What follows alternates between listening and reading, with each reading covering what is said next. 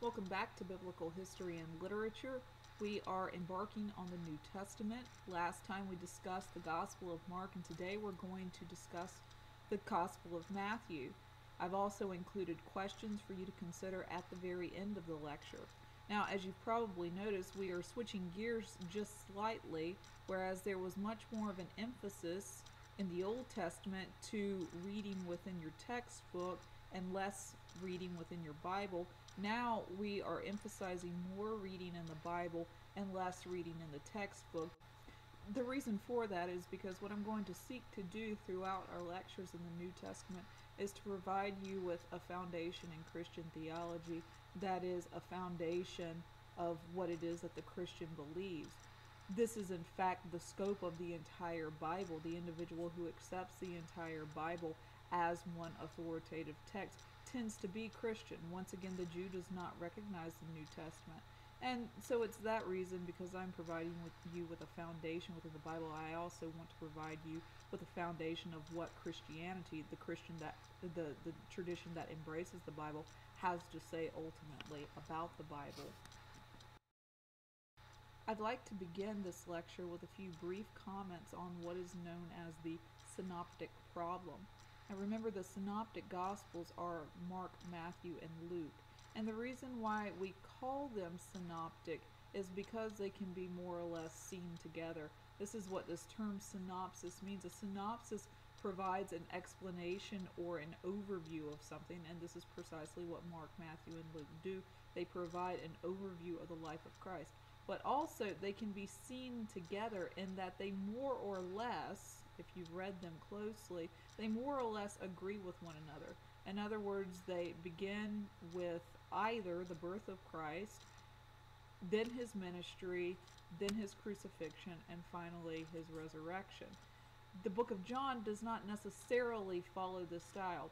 We find a lot of things within the book of John that we do not find within Mark, Matthew, and Luke, but more or less Mark, Matthew, and Luke with the exception of a few stories, pretty much agree together. Now, according to modern biblical scholarship, the reason why this is is because the authors of Matthew and Luke, tradition says St. Matthew and St. Luke, modern biblical scholarship says someone else. These authors are said to have used the book of Mark, what is referred to as the Markan source, as a sort of framework for Matthew and Luke. And this really does make good sense if you've ever looked at these books together. Remember, the book of Mark is very, very short, it's only 16 chapters, whereas the books of Matthew and Luke are going to exceed Mark by about 10 chapters or so, 10 chapters plus. So, it does make sense because they are in agreement with one another and they do basically follow the same framework that that the gospel of mark would have been used as a sort of agenda, one might say, a sort of outline. Another reason why scholars believe this is because the books of Matthew and Mark were written, said to have been written, about 20 years after the book of Mark was written. The book of Mark was written in 65 AD. Matthew and Luke are considered to have been written at about the same time, around 85 AD. Yet another reason scholars believe that these writers could have used the Gospel of Mark as their source, as their framework. Now, we are going to come across, because Matthew is so much longer than Mark, we're going to come across several stories that we find in Matthew but not in the Gospel of Mark. Stories like Christ's genealogy, so remember within the Gospel of Mark, we begin with Christ's mission. His his ministry is going to begin at about the age of 30, and that's where we that's where we go. That's that's our jumping off point. For the Gospel of Matthew, we're going to go as far as back as Abraham. We're going to trace Christ's genealogy all the way back to that father of many nations, and then we're going to move into the story of the archangel visiting Christ's mother, Mary, in what is known as the Annunciation. And then there's going to be the birth of Christ, and then that period of time that lapses when Christ is going to sojourn in the Egyptian desert when he's trying to escape Herod's grasp. Something also that we find within the book of Matthew that we aren't going to find within the book of Mark, something very Christian, I mean, very central to Christian theology, is that of the Beatitudes. Blessed are the poor in spirit, for they shall receive the kingdom of God. Blessed are the pure in heart, for they shall see God. These things are not included within Mark. So, this problem for scholars is well, where did these writers get these other stories? If Mark didn't include them and it was the original gospel, well, then where are these writers picking up these extra sayings, these extra traditions? Well, what scholars tend to hypothesize is what is known as the Q source. And the Q source is a hypothetical document. In other words, scholars don't know for sure that it existed, but nevertheless, because there are traditions within Matthew and Luke that we don't find in Mark, but nevertheless agree with one another within Matthew and Luke, scholars believe that there was probably an extra source, like the Markan source, floating around with the expressions of Christ, the sayings of Christ, expressions like the Beatitudes. And this hypothetical document is what is referred to as the hypothetical Q source. So let's talk about the Gospel of Matthew. Like I said, it was written 80 to 85 AD. I'm just going to go with the earliest number here, but as late as 85 AD. Just know some scholars speculate. Christian tradition says that it was written by Saint Matthew, who was in fact a tax collector. He is mentioned in the Gospels and would have been a disciple of Jesus Christ. Matthew's Christology is somewhat different than what we find within Mark. Remember, Christology has to do with the person and the nature of Jesus Christ. Matthew's Christology is going to become apparent to us through the use of a genealogy. A genealogy is going to trace Christ's family history. And this is very important because what it seeks to do is establish Christ. It, it seeks to give him credentials, in other words. Who exactly is this Jesus Christ fellow? Why should anyone pay attention? Well, if we know at least where he's coming from, who his ancestors are, well, then that might give him a little bit of clout with the readers. And what the writer does here is he's it's very very interesting. It has been said before that the Gospel of Matthew is a very Jewish gospel, and that is in fact the truth the Gospel of Matthew was written to a audience that was Jewish. That's actually why we see it at the very beginning of the New Testament because it speaks to the Jewish people. It takes care of that Old Testament question of Messiah. That's that's why we see it at the very beginning of the New Testament, leaving off where the Old Testament left off. So the text tells us within his genealogy that Christ is the son of David, who is the son of Abraham. And of course, this would have been very, very significant to the Jew. The Jew who believed David to be the first Messiah, believed the, the kingdom of Israel to have flourished under his reign. The Jew who credits Abraham as being that father of many nations if Matthew can establish the fact that Christ is indeed related to both of these individuals, well, then it's going to secure, it's going to validate his messianic ship. Christ is coming from a long line of great patriarchs. We also get within this genealogy the virgin birth, something that we have not previously seen within the Gospel of Mark. And this is how it's laid out within within Christ's genealogy. It, it's laid out rather interestingly. It doesn't say explicitly that Mary is a virgin, but we read it implicitly. And I'm just picking up here in verse 15 of the genealogy. We won't go through the entire thing. The text says, And Matthan, who is the father of Jacob, and Jacob, who is the father of Joseph, who is the husband of Mary, of whom Jesus was born, who is the Christ. See, prior to this, we were talking about the father, the fathers of individuals, the father of Jacob and the father of Joseph. But you see here, a father is not mentioned of Christ, simply that there is a man who is married to Mary who is Christ's mother. And so we're led to believe that Christ actually had no father, and because he did not have a father but did have a mother, that he was born of a virgin. Another very, very interesting feature of Matthew's genealogy is that everything is more or less set up in terms of 14 generations. And the number 14 itself would have been very significant. The number 7 is a holy number, it's seen as a number of completion in many ways. And to take the number 7 and to double it makes it twice as holy. It makes it twice as twice as perfect. So 14 within the eyes of the Jews if you know much about numerology, is considered to be a very significant number.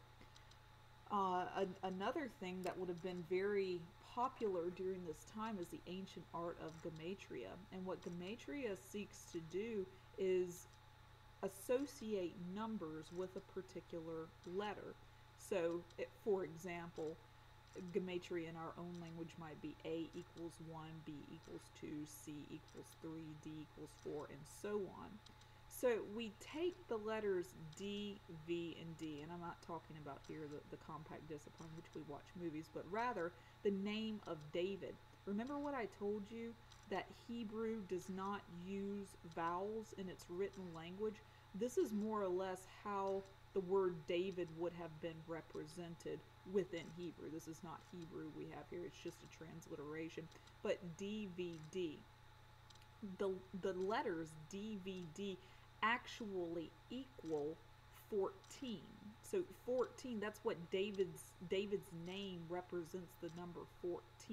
And remember David was that great Messiah and that there are 14 generational gaps when things are put in terms of 14 language uh, 14 14 generations. This language only buttresses the point of how christ's messianic ship is valid. So just to tell you how this works from abraham to david there is considered to be 14 generations from David until the Babylonian captivity, there are 14 generations. And from the Babylonian captivity to the time of Christ's birth, 14 generations have passed.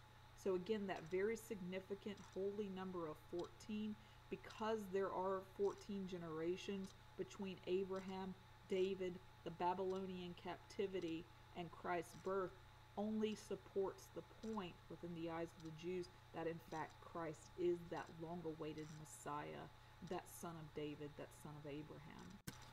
This icon that I have here to your right is an icon of the Annunciation. This is the Archangel Gabriel visiting the Virgin Mary and announcing that she is going to have the Christ, that she is going to bear the Messiah.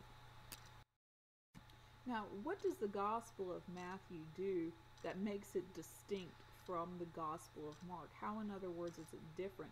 What is the Gospel of Matthew's intention? Well, remember what I said the Gospel of Matthew is a Jewish gospel written to the Jewish people for a very Jewish reason to discuss the Messiah. And because the Gospel of Matthew is so Jewish, it's actually written with the Torah in mind. Moses as well, remember who tradition says, is the author of the Torah. This is what the Jews would have believed. Obvious parallels between the Gospel of Matthew and the Torah itself include Jesus' birth and Moses' birth. Jesus, much like Moses, is going to be intensely persecuted by the ruler of the age. Just as Moses and the Jewish people were persecuted by Pharaoh, Jesus and the young Jewish boys during the time are going to be intensely persecuted by Herod. Herod is afraid that Christ is going to come and take his throne, much like Pharaoh was. So there's a parallel there. Pharaoh and Herod both declare infanticide. Jesus and Moses are both going to sojourn through the desert. Moses is going to sojourn through the desert with the Israelites for 40 years. Christ, for an undeclared amount of time, is going to sojourn in the desert with his parents He is going to flee Herod's persecution and spend much of his childhood abroad. We don't exactly know how long and we don't exactly know what would have happened during those years, but nevertheless, that's where Jesus was. We do know that for sure. Jesus and Moses are both going to go through the water, if you will. Moses is going to be sent down the river Nile into safety. Christ himself is going to pass through the Jordan to be baptized. This presence in the water is highly significant. Jesus is going to spend 40 days in the wilderness when he is tempted by Satan, and Moses is going to spend 40 years in the wilderness, tempted, we might say, by the Israelites time and time again. Both are going to go up on a mountain to deliver their teachings. Remember, Moses is going to ascend Mount Sinai to get the teachings, to get the commandments from God.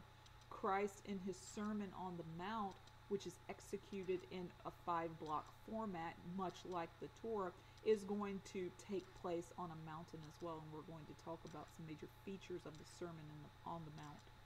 Now, note well, and this is this is very very important to reading the Gospel of Matthew and understanding how it relates to the Torah. Matthew is not saying that somehow Jesus has replaced Moses, that Moses has become obsolete, or that to accept Jesus means to reject Moses. On the contrary, to accept Christ is to accept part and parcel Moses and the law. It's simply the case that Christ's law is an accentuated law. It's a fulfillment, in other words, of the law that Moses brought, and we're going to see how this plays out. Now, Christ is going to begin his Sermon on the Mount, which begins in Matthew chapter 5, with what are known as the Beatitudes.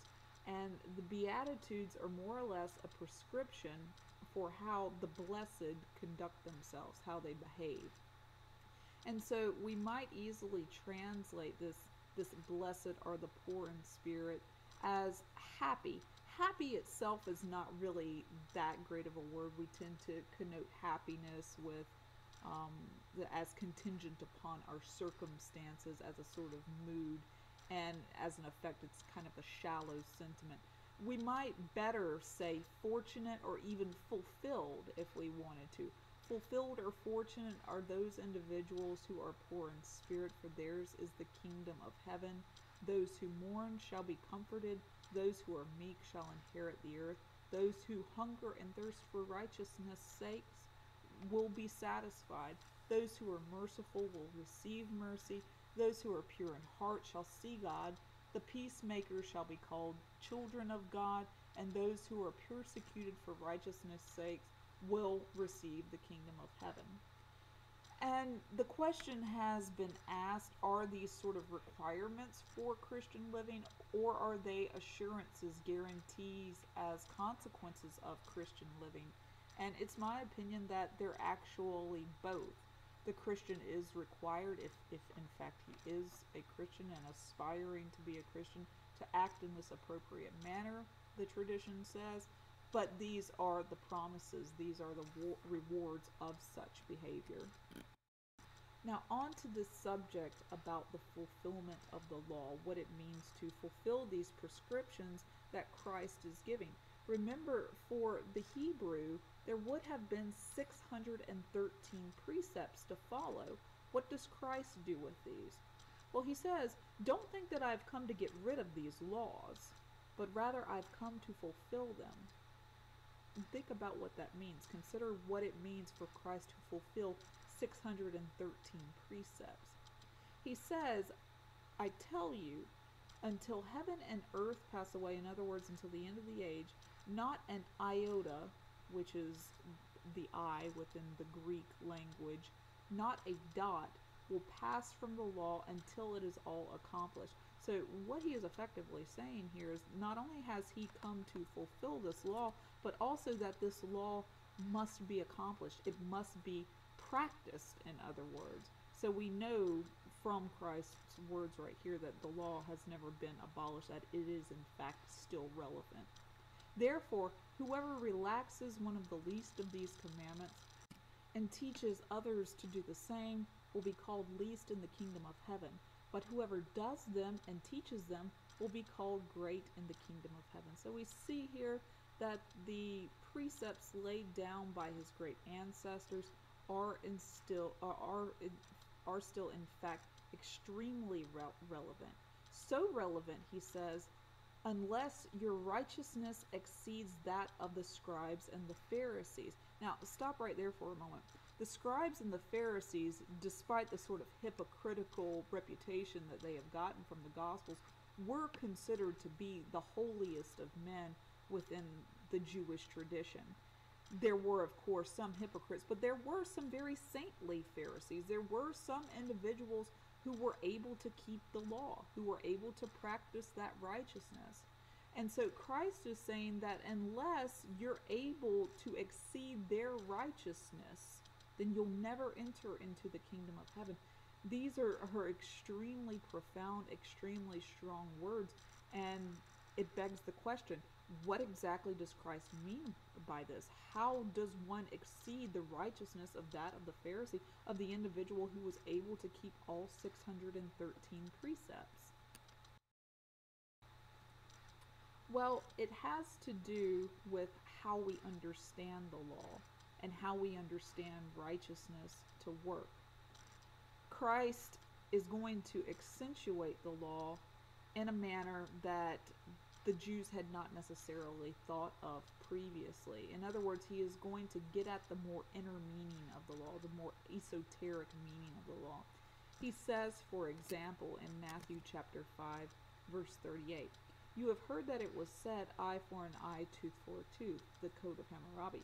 But I tell you, do not resist an evil person. If someone strikes you on the right cheek, turn to him the other also. And if someone wants to sue you for your tunic, give him your cloak as well. If someone forces you to go one mile, go with him two miles. Give to the one who asks you, and do not turn away from one who wants to borrow from you. So we see what Christ is doing here. He's throwing out that old quid pro quo MO or modus operandi, the way of functioning, the way of behaving. He's saying that no, this doesn't work because people have become too legalistic in the way it should should work. It's not necessarily the law that is the problem, it's the people's interpretation of the law. So what Christ is seeking to do is redefine it perhaps or, or fulfill it in a manner that makes it clear for everyone. He says instead of giving a person back exactly what they have dealt, rather forgive them for that. The law is a very merciful thing, it's not a vindictive thing. The reason why the law worked so well for antiquity is because what it did was it allowed punishment to be served up in a just manner. We've talked about this before. Remember, it's not fair for an individual who has stolen a piece of bread, for example, to incur the penalty of death. That's just simply unjust. So, what the Code of Hammurabi and codes like these will do will ensure that punishment does not exceed the crime. What Christ is going to do, though, is he's going to go a little beyond this. And he's saying instead of even giving punishment back, rather go the extra mile with that individual. And this, he would have been talking to the Jews at this point, um, most pointedly. What, what Christ actually means when he's talking about go the extra mile is that in the days of antiquity, when Rome rolled over the, ruled over the Jews, if a Roman citizen wanted a Jew to do something, then the Jew had to do it, and it basically didn't matter what it was. So, if you were a Roman citizen and you were carrying a load of wood to your house and you saw a Jew walking by, you could have said, "Hey, Jew, come and help me," and the Jew would have had to do it. it that would have been the law. And some of the Jews were frustrated by this. They were irritated that they had to stop what they were doing and humble themselves and submit to this Roman official. But yet, this is precisely what Christ tells the people to do. He says, if someone forces you to go that one mile, be humble enough to go with him two miles. Don't just simply do enough, rather, do more. That's the accentuation all of this is going to culminate at the point when Christ says, Be perfect, even as your heavenly Father is perfect. So he's already told us to exceed the righteousness of the Pharisees. He's already told us to go the extra mile. Now he's saying, be perfect just like God is perfect. Is Christ serious? Well, frankly, I see no reason to believe that he was joking about this. I, I, don't know of really anywhere else in the gospel where he says something without meaning it. I think that he is quite serious. And this is what soteriology is concerned with here this practice of being perfect. Now, sotero- soteriology, the Greek word soter itself means to say or savior. Soteriology, therefore, is concerned with salvation, how salvation works. And salvation works in a manner of different ways for the Christian. There are many things involved, in other words, in the process of salvation. There is, of course, the death of Jesus Christ, the Christian would maintain, and, and how the Christian is justified, made holy through Christ's own crucifixion. But there are also other things at work. There is a conscious effort by the individual making a conscious decision to work toward his salvation. There's also the process of sanctification, being made holy by the Holy Spirit salvation itself is a process, as we'll see by the time we get to the book of Philippians. So, what then does this perfection have to do with? Well, it has to do with salvation because salvation is itself the act, we could say, of becoming perfect, of becoming unified with God and thus becoming perfect. And this is what Christ has in mind. It's through these through these laws, through the working of these laws, that the individual becomes perfect. And of course, again, with the aid of God, we would never neglect this. The Christian tradition would say, one is thus made perfect, one is thus saved. Question is, well, how is this possible? How is it that one can exceed the righteousness of the Pharisees? How is it that one can become perfect like the Father? Well, it has to do with what I've been saying all along this fulfillment of the law. It does not have to do necessarily with fulfilling all 613 Jewish precepts, because for Christ and the Christian tradition as a whole, it's the law, it's not the law, I should say, that saves the individual. It's not the law in and of itself. That is the purpose of Christ's coming to this earth, the Christian tr- tradition maintains. But that does not somehow mean, because Christ has come to save mankind, that the law itself is now obsolete. We have to be very, very, very careful not to throw the baby out with the bathwater, as they say. The law is still quite relevant and it still works with these traditions, but now in a new and more fulfilled, accentuated way. How is the law fulfilled? Well, Christ says so in Matthew chapter 22, verses 37 through 40. Love the Lord your God with all your heart and with all your soul and with all your mind. This is the first and the greatest commandment. And the second is like it love your neighbor as yourself. All the law and the prophets hang on these two commandments. So when Christ says that your righteousness should exceed that of the Pharisees, the Pharisees who obeyed every single commandment, every single 613 commandments, what Christ is doing here is saying that effectively all of those commandments can be summed up into two. It's not necessary to commit every one of them to, to memory. If you simply practice these two commandments, well, then you're fulfilling all 613 of them. That's the purpose of the 613 commandments, in fact. These 613 commandments are a means to a greater end, the greater end of loving God with all one's heart and loving neighbor as oneself. They're means to an end, they're stepping stones. And if one can just simply go straight to the end, transcending the, the means, well, then their righteousness has exceeded that of the Pharisees. Now, Christ is very clear about those who simply follow the law for the sake of the law.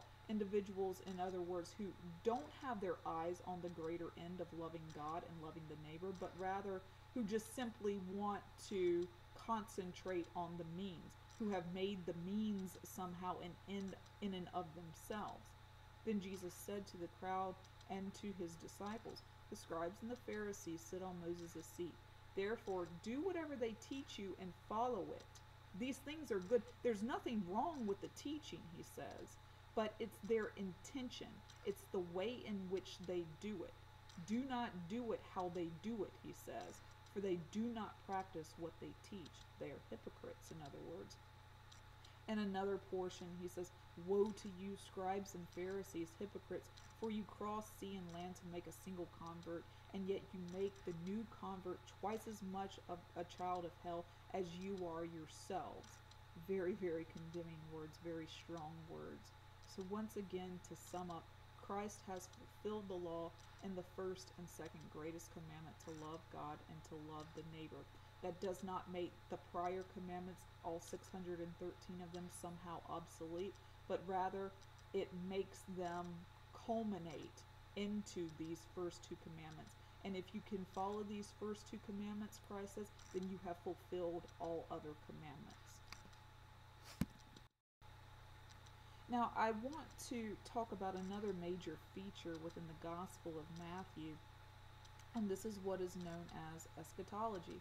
I've already introduced you to eschatology, and I promise that I would continue talking about it this semester. Eschatology has to do with last things. Eschaton in Greek means the last things, or to put it another way, the first things after the end. Eschatology is the study of these things. And the book of Matthew is a very, very apocalyptic book. It's extremely interested in the last things, particularly chapters 24 and 27 of Matthew. Now, Jesus talks about himself as returning again. This is not necessarily something that we pick up as explicitly within the Gospel of Mark. This Greek term that I have here, parousia, means the second coming. Jesus says, In the last days I will return again. Matthew 24. As were the last as were the days of Noah, so will be the last days of the Son of Man. And they did not know until the flood came and swept them all, so will be the second coming of man. In other words, it's going to come like a thief in the night, to use St. Paul's language. It's going to come suddenly. We also know that the eschaton is marked by a time of upheaval. Christ says that there are going to be wars and rumors of wars, and that nations are going to arise against nations, that there are going to be great famines, there are going to be natural disasters, and then finally the celestials are going to darken, the moon is not going to give its light, and the stars are going to fall down from the sky. It's also characterized by a time of destruction as well. Not only are nations going to be destroying one another, but people are going to begin destroying one another. It's going to be a time of great warfare. Now, of this time of upheaval and the last day itself, Christ makes very clear that no one knows when it's going to occur. No one knows the time of the parousia. Not even the Son of Man, not even himself. He says, only the Father in heaven knows. And you might reflect back on what we said within the Gospel, within the book of Daniel, back in the Old Testament. It's therefore that the Christian tradition has typically rejected the sort of prophecies that individuals throughout the ages have put out concerning the final days, concerning the judgment. And I'm sure that you probably remember this a couple of years ago, an individual put out that Judgment Day was May 21st, 2011. And I even remember seeing billboards around Columbia about this. And obviously, as history has proved, the individual was wrong. I even heard that he actually went back and did some recalculations. But he wasn't the first of individuals to have to have assumed this many people had prior to this, and many people, I'm sure, continue to do this. I don't know why they never tend to heed what Christ says within Matthew that nobody knows, not even Christ himself. I, I don't know why they continue to speculate, but nevertheless, I do want you to know that the Bible is very explicit about this. No one knows the hour. We do know that there is a judgment, though. Christ is very clear about this, and he talks about it in Matthew chapter 25. And what I'd like to do for the remainder of the lecture is talk about the outcomes of this judgment. According to Christ, there are two places that men can go either heaven, which is considered to be the most blissful place imaginable, the place of great fulfillment, the place of no more sorrow, no more suffering, the presence of God, essentially. And Christ, in an analogy, says that that's where the sheep go. Those who follow him, sheep are considered to be very submissive.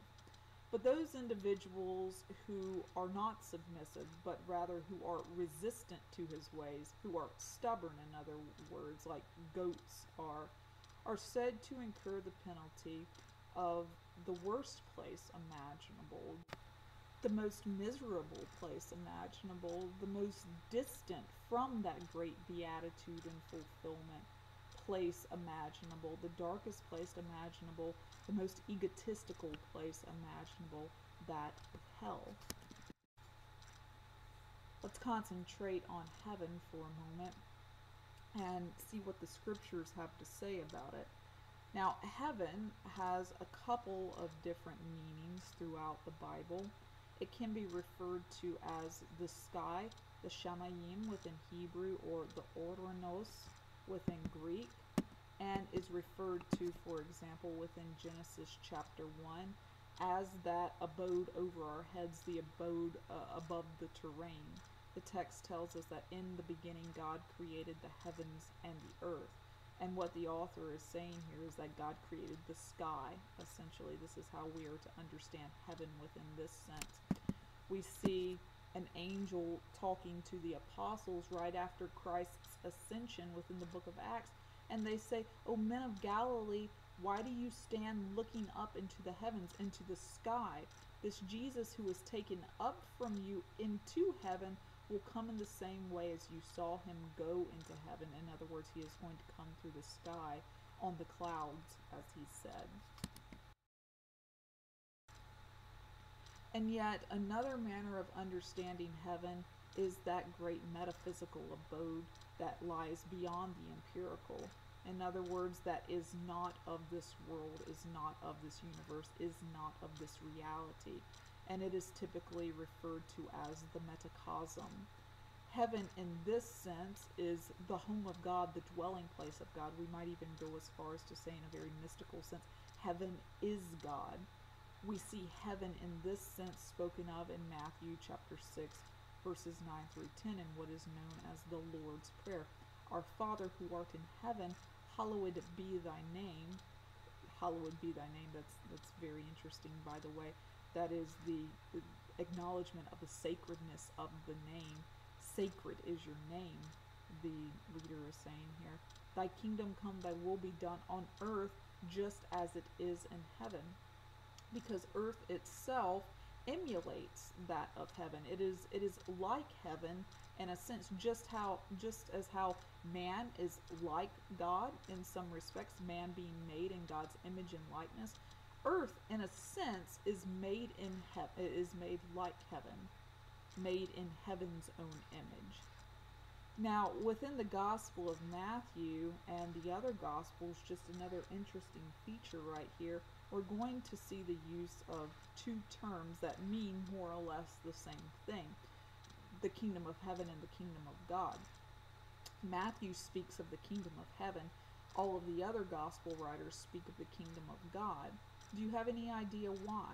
What the difference would be there? Well, again, it's not a difference in terms of place. They are the same place. But the reason why Matthew is going to privilege the kingdom of heaven over the kingdom of God is because of his own Jewishness. Remember, Matthew is a very Jewish gospel. And remember what the Jew was very cognizant not to do with the name of God He wouldn't take it in vain. He'd never just throw it around. And that's why we see kingdom of heaven here instead of kingdom of God because this is a very Jewish gospel. He would have never just said God. Kingdom of heaven is much more correct, they would say. It protects the sacredness of the name. Now, the kingdom of heaven, the kingdom of God, whichever you prefer, can be understood once again in two manners. Firstly, it can be understood in a futuristic sense in that it has yet to have been established either here on earth or in the metacosm as it will be at a point after this world is through. Matthew chapter 3, Christ says, Repent, for the kingdom of heaven is near. It is at hand. It's right around the corner. It's imminent, you might say. Within the Gospel of Luke, the evangelist portrays heaven as somewhat different. Neither shall you shall they say, Christ says, look over here, look over there, for behold, the kingdom of God is within the individual. So it's on the outside, it's futuristic, it's to be anticipated, but yet it is within the very individual who has God. Whoever has God in his soul has heaven, the evangelist is saying. Now, just as heaven has a few different interpretations, hell has a couple of different interpretations or de- definitions as well.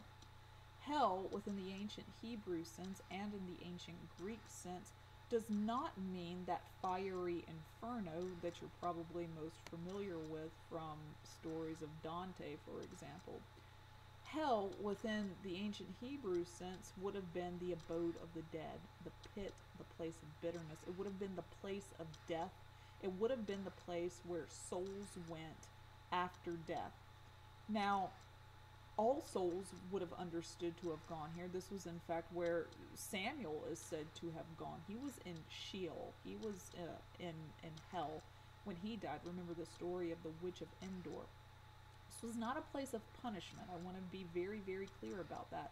But within Jewish theology, at least during the time of the Bible, there was no clear distinction between heaven and hell as there is made within the Christian tradition today within Jewish thought, there was just simply a place where you would have gone to, to hang out more or less for a period of time until the kingdom of God was established and until the resurrection of all individuals. Now, I don't want you to think that this holding place was without its misery to an extent. It was considered to be a place of bitterness, but again, not that sort of fiery inferno, but cold and dark. It is sometimes described as a place without light, a place without life, ultimately. We know that it was not a comfortable place to be. The cords of Sheol tightened, the snares of death lay in wait for me, this place of death. In my distress I called out, Lord, I cried out to my God, the psalmist says. Maybe you're familiar with the story of the raising of Lazarus. It's given within John chapter 11, and we'll talk about it um, once we get to John. I'll briefly mention it. But the story goes that one of Christ's good friends, Lazarus, who was the sister, or excuse me, who was the brother of the sisters, Mary and Martha, fell asleep. He died while Christ was out of the city and it said that he was buried within a nearby tomb and that when word got to Christ, Christ actually said that I'm glad that this has happened, that I, I was not around when he died, so that you can believe, so that ye might believe. And the story goes that Christ returns to the place of Lazarus' death, and many people are mourning as we see here within this icon. We see the sisters Mary and Martha at Christ's feet, begging him to do something. We see scribes and Pharisees around the tombs, perhaps watching and praying over the body. We see individuals with their hands over their mouths and over their noses because Lazarus has been dead for a few days now. He's begun to stink, and the stench is getting out. Just to send this point home that Lazarus was very dead when Christ brought him back to life, these individuals are covering up their mouths just to let us know how dead he was. And the story goes that Christ is going to call out to Lazarus, and Lazarus is going to raise up and he's going to come forth from the tomb. Now, the question is where exactly was Lazarus during this period of time for, of about three days when he was dead? Well, the Jewish and Christian tradition would maintain that he was actually in the place of death. He would have been in Sheol, that place of bitterness. Now, there's a tradition, remember traditions we talked about midrash and the extra canonical stories. Well, there are also traditions within the Christian tradition as well, many stories that we aren't going to find in the Bible that are necessarily true. Uh, that that aren't necessarily untrue, I should say, because they aren't in the Bible. St. John is very clear about this at the end of his book. He says that there are many stories that aren't in the Bible that can't possibly be because there are so many of them. And anyway, there's a tradition of Lazarus, whatever became of him, the question is, what happened to him after Christ raised him?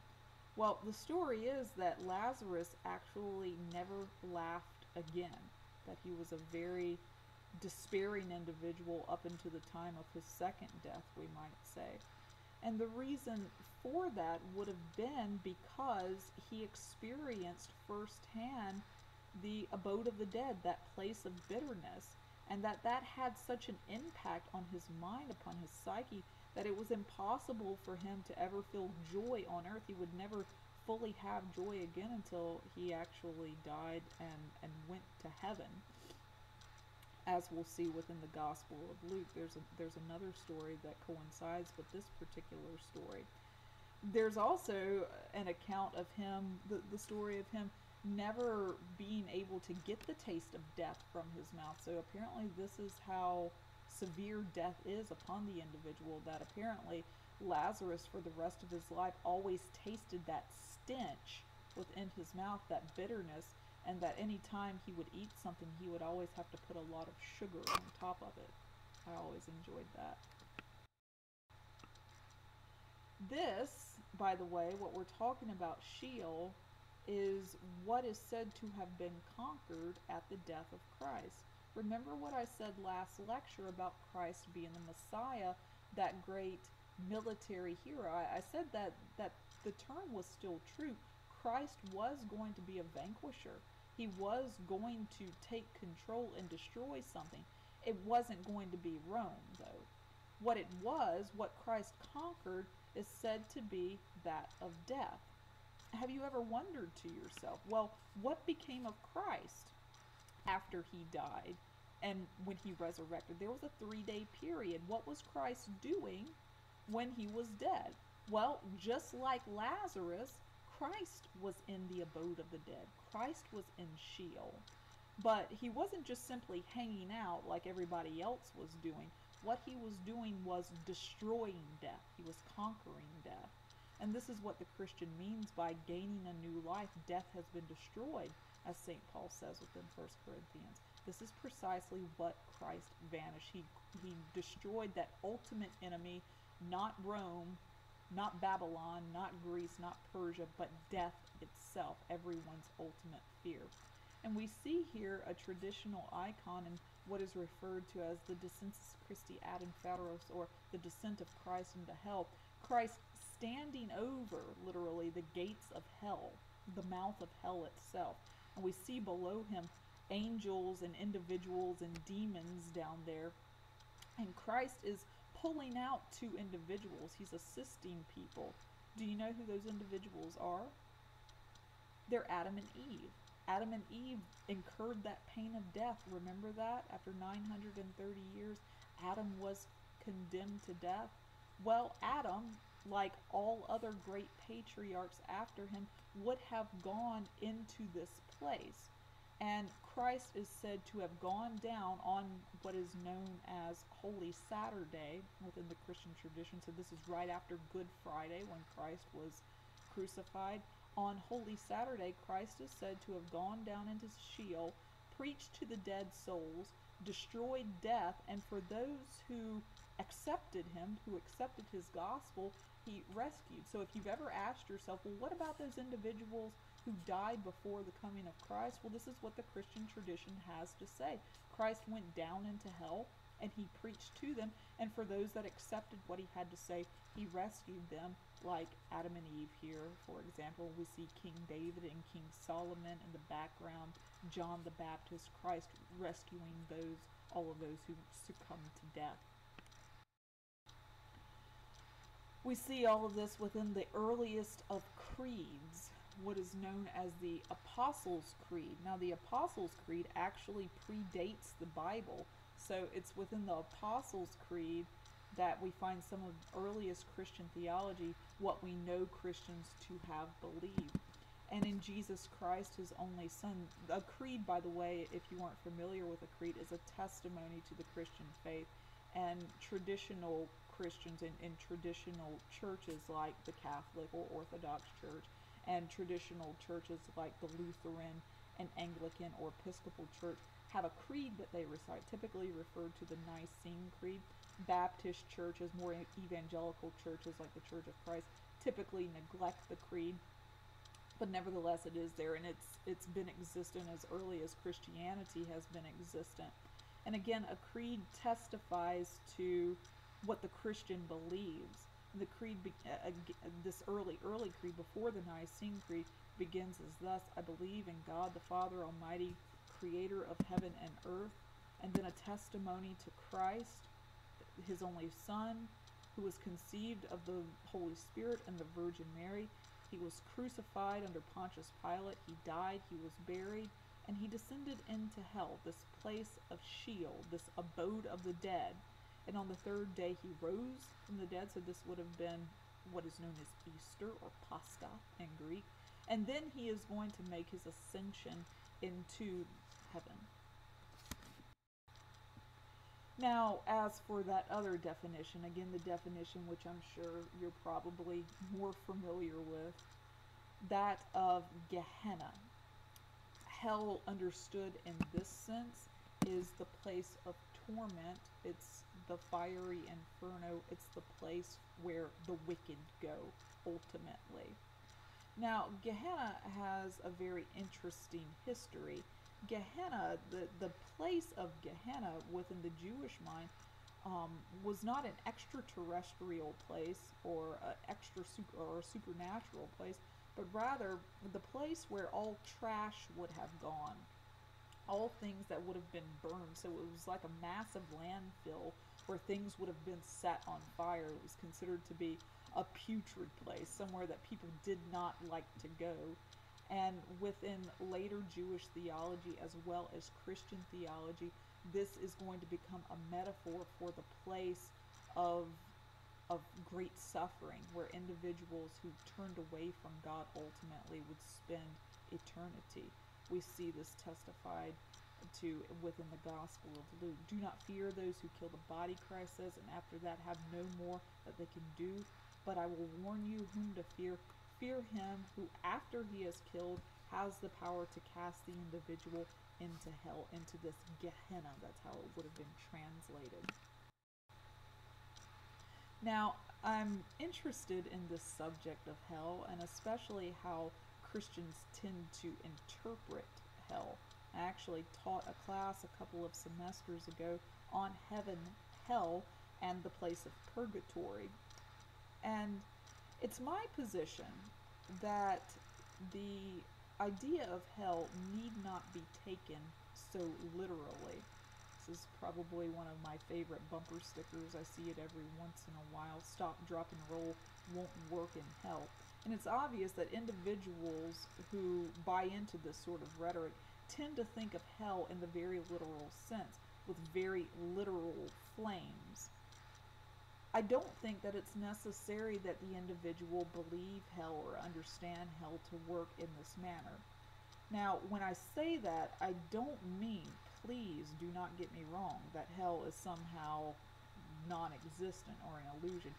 Just because someone doesn't take something literally doesn't mean that he does not take it seriously. I would actually move that hell is a lot more serious than any sort of physical fire could ever be. let me say a little bit more. Hell is typically understood in two senses. One, the Latin here, the poena damni, which means the punishment of the lost, what Christ talks about as the outer darkness, or what we might understand as an ultimate distance from God, an ultimate distance from the good.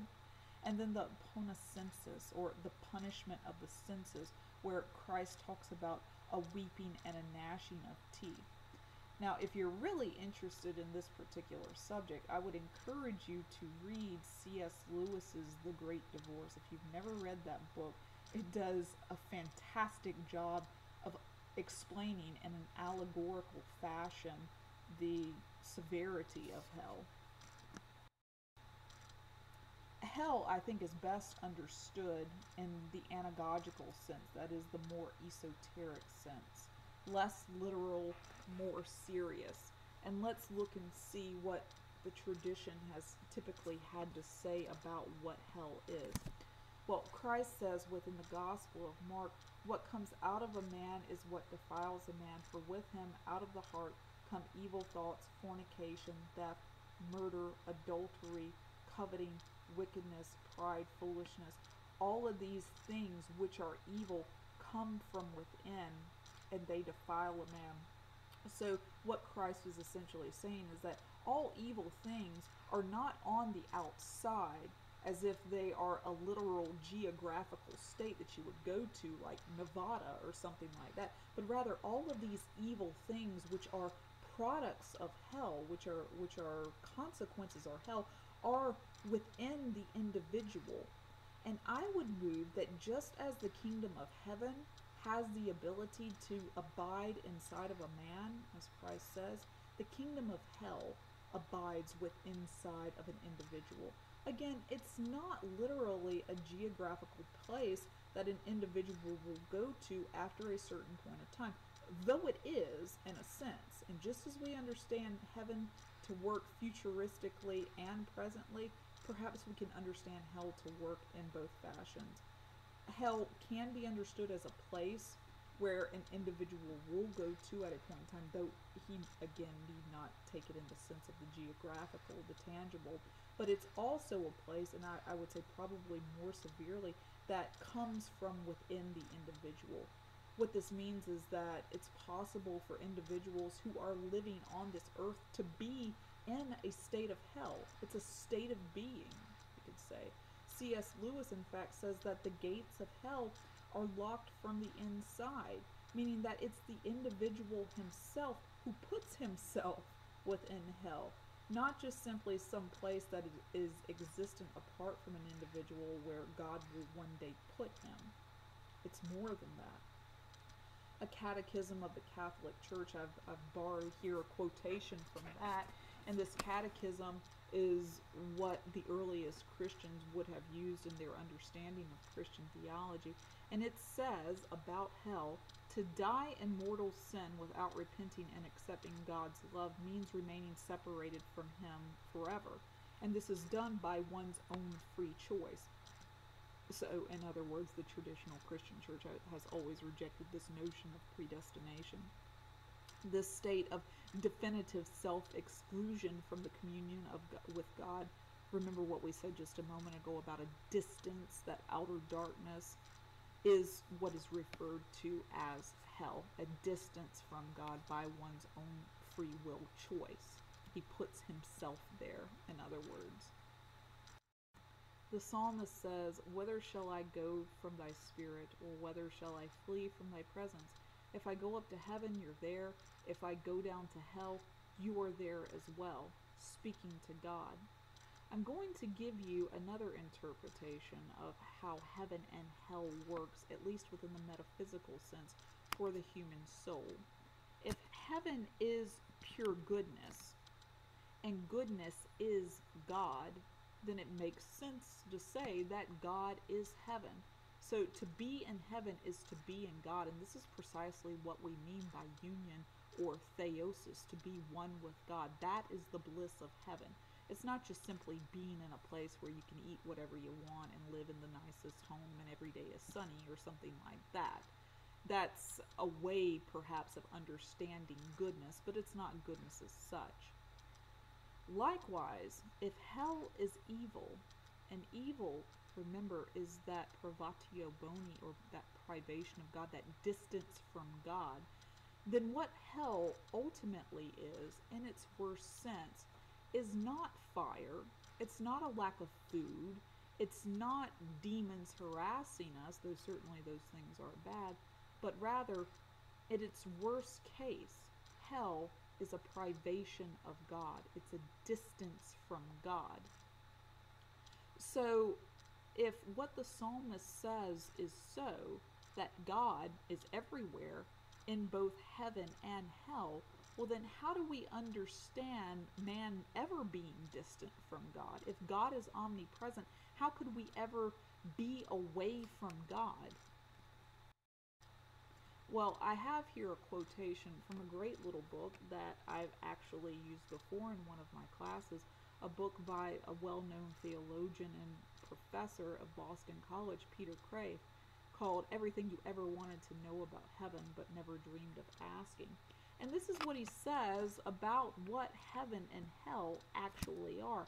And it makes what we just read from the book of Psalms, it makes it make it, it makes perfect sense.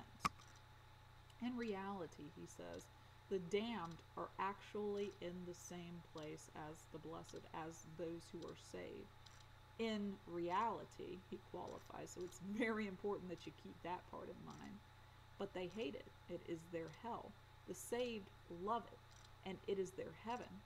It is like two individuals sitting side by side at a concert. The very thing that is heaven to one person who enjoys the music could be hell to the other person who doesn't enjoy the music. Fyodor Dostoevsky says, We are all in paradise, but we won't see it. Remember what we said about the book of Genesis, about how things have never ceased to be good, but we don't understand it that way because our minds have been darkened, our minds are clouded. Hell is not thrust upon us from without, as if it's some outward geographical location, he says, but rather hell grows up from within. It's a spiritual cancer. It emerges from our own freedom. Hell is not literally the wrath of God. The love of God is an objective fact. The wrath of God is a human projection, he says, of our own wrath upon God. Our own want, in other words, to be distant from God. We're not actually distant from God in reality, Kreeft is saying here. That's actually a metaphysical impossibility. To be cut off from God is to be non existent. But it's because we refuse to look at God, he says. It's because we refuse to submit and to experience God that we distance ourselves from Him. I think what Kreeft just said has played out really well within the Gospel of Luke. And this is the story at Christ's crucifixion of the thieves on the cross and their dialogue. The thief on Christ's left is going to mock Christ, and he is going to say, Aren't you the Christ? then save yourself and us. And the individual on Christ's right says, Do you not fear God since you are under the same sentence of condemnation? And we indeed justly, for we are receiving what we deserve, but this man has done nothing wrong. And he looks to Christ and he says, Remember me in your kingdom. And Christ will respond, Truly I say to you, today you will be with me in paradise. What is one man's heaven is one man's hell if he chooses to put himself there. The thief on Christ's left refused to see God. He refused to acknowledge God, but rather he made fun of God. He distanced himself from God, and as tradition maintains, did not incur the blessing of heaven. But the individual who was on Christ's right, who recognized his sin and also recognized God to be God, Christ to be God, incurred the blessedness of heaven. Now, hopefully, I have raised some interesting questions and made some interesting points for you about the nature of heaven and hell as Christ talks about them throughout the Gospel of Matthew. What I'd like to end with is this question of who do men say that I am? You'll recall that I said that for the Gospels, this is the central question. This is what the Gospels are interested in. And we get this story, same story, but accentuated just a bit in Matthew chapter 16. After Christ asked the question, the disciples are going to respond. Some say John the Baptist, others Elijah, some say Jeremiah when they say this, Christ is not going to do like he did last time within the Gospel of Mark and strictly tell his disciples not to tell anyone. In other words, there is no more messianic secret, but rather Christ is going to confirm what they observe.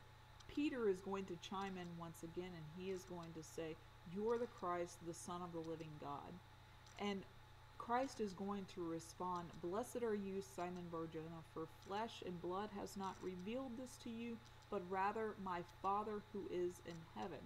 And what Christ is going to proceed to do at that point is found the very church, the, the, the Christian church itself, upon the person of Peter. He says that I am going to establish my church upon this rock. And the term rock within Greek is Cephas. And Cephas is actually another name for St. Peter. You can see this if you look in the book of Galatians. Um, St. Paul refers to Peter as Cephas. This was St. Peter's nickname. Pe- Pe- Simona Petros within Greek, but also Cephas. That was his nickname. And Christ says that I am going to establish my church upon you, Peter.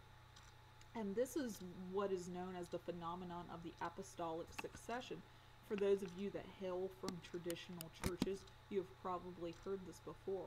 And according to apostolic succession, Christ on that very day conferred full authority of the church, what is known as the, in the form of the priesthood, um, to the disciples. And thus, anyone who comes after one of the, the disciples is understood to be a part of that apostolic lineage. Now, within the Catholic and Orthodox churches, is taken very, very seriously. And if one is brought into the priesthood, he is done so in a very traditional and very ritualistic, we might say, manner. There is a ceremony and everything. And the entire priesthood has to recognize his entrance. And it's said that every priest can actually trace his lineage back to one of the 12 disciples that was present on that day when Christ gave the church to Peter, when he established that church to Peter. Now, this is not something the apostolic succession, for those of you hailing from non traditional churches, uh, non traditional Protestant churches like the Church of Christ or the Baptist Church or the, the Methodist Church, we might even say Protestant churches at large the apostolic succession is not something that's central. It's typically believed that if you want to be a pastor, then you make that decision yourself, and, and no one else really has anything to do with it unless you go to seminary. Within the Catholic Church, this moment of Christ giving the keys to Peter and establishing him as the rock, this is the moment the Catholic Church says that the first pope came into effect as you may know, the Catholic Church has a pope, has uh, someone that they official, officially recognize as their spokesman. Pope Francis is the current pope. St. Peter was considered to be the first pope, and every pope that comes after St. Peter, St. James is going to be the second pope, is considered to be able to, once again, trace their lineage all the way back to that very first day when Christ established the kingdom. For the Orthodox Church, apostolic lineage works a little bit differently. Within the Orthodox Church, there is no pope, but rather there are archbishops. And for the Orthodox Church, all of the archbishops not only trace their lineage all the way back to St. Peter, but ultimately every disciple who was present. Just a little bit of a difference there. Now, I'm going to leave you here with a few questions to consider. We handled a lot of material today.